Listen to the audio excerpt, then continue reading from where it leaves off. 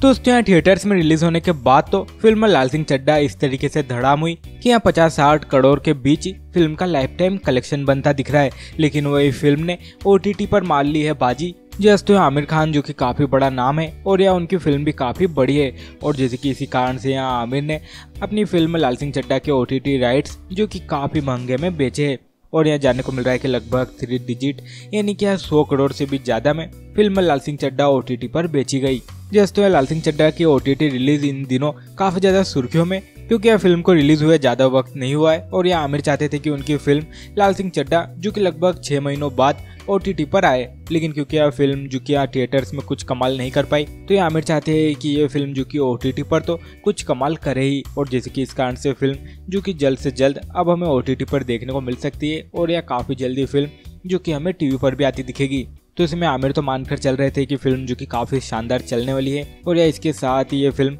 जो कि काफ़ी देर से हमें ओटीटी पर और टेलीविज़न पर दिखती, लेकिन क्योंकि अब यहाँ फ़िल्म थिएटर्स में नहीं चली है तो इसमें आमिर चाहते हैं कि फ़िल्म जो कि ओटीटी पर तो कुछ कमाल करे ही, और इसमें इस कारण से यहाँ पर ओ टी प्लेटफॉर्म वाले भी ज़्यादा वेट नहीं करने वाले क्योंकि यदि काफ़ी लंबा वक्त हो जाता है तो शायद या लाल सिंह चड्डा के प्रमोशन के लिए एक बार फिर से उन्हें पैसे खर्च करने पड़ेंगे। तो इसमें भी काफ़ी जल्दी बड़े ओ टी प्लेटफॉर्म जैसे कि नेटफ्लिक्स या फिर वुड पर हमें देखने को मिलेगी फ़िल्म लाल सिंह चड्डा